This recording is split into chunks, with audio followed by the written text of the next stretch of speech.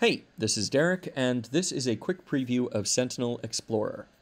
Sentinel Explorer is an online mapping tool uh, created by Esri, which uses European Space Agency data to create maps that you can analyze in a variety of ways. Uh, specifically, it uses Sentinel-2 data. And Sentinel-2 is a program that has a bunch of satellites going around the Earth, taking pictures of uh, visible light reflecting off the Earth in uh, about 12 different bands. It's a multi-spectral analysis. So it's it's looking at visible light, it's looking at infrared light, and a, a couple of other filters. And what the Esri map allows you to do is process that information through a bunch of uh, pre-existing filters. So let's zoom in on Ecuador, which is a place where one of TechMatter's uh, landscape partners is based. And you can see that the map is showing us data from January 11th, which is about a month uh, ago at the time of the creation of this video. Um, and I believe what's happening here is that the tool is automatically displaying a composite of images um, with uh, relatively low cloud cover uh, which is particularly difficult to do in Ecuador because uh, they have quite a bit of cloud cover throughout the year. And usually NASA recommends for analysis that you get, you know, a landscape image with about 20% cloud coverage. Anyway, so uh, this menu right here allows you to check what kind of rendering you want to do on the surface. So you can look at natural color.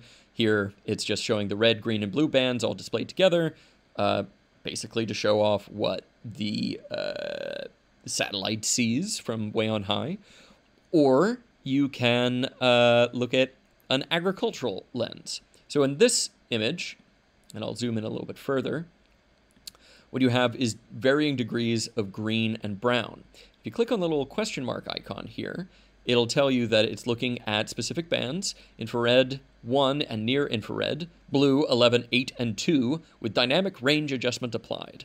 And uh, what it's telling us is that vigorous vegetation is bright green, stress vegetation is dull green, and bare areas are brown. And I think you can see some bare areas over by uh, Guayaquil. Um, you could do color infrared, which is another way to look at stressed uh, plant life. Here, uh, bright red is healthy vegetation, and stressed vegetation is dull red.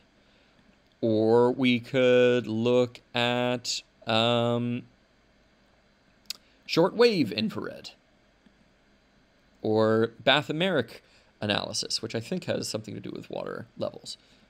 Uh, it basically says that it's looking at red, green, and coastal aerosol 4, 3, and 1 with dynamic range adjustment applied. So it tells you what it's doing and then gives you a little bit of a description of what this is. So uh, one of the advantages of a tool like this is if these pre-existing um, uh, renders are viable for your particular situation, you can use this tool to generate a map of your own particular area. And then, if you like, uh, you can save it to your own ArcGIS online account or export it as a PNG or a TIFF image. Um, you can also do a swipe comparison. I've yet to actually figure out how this works, but theoretically, you can show multiple different days and then compare back and forth between the two. Um, or you can get uh, a change detection uh, tool so you can have two different layers and then use the change detection tool to see how something has changed over time. Maybe you have an interest in seeing how the level of stress of an area has changed from year to year.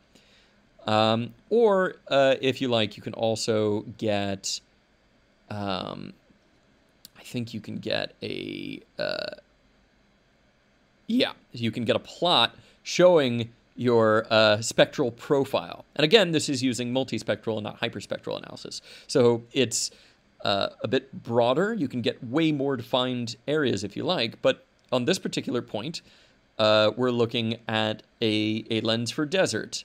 And that lens might look a little bit different for concrete or for urban environments.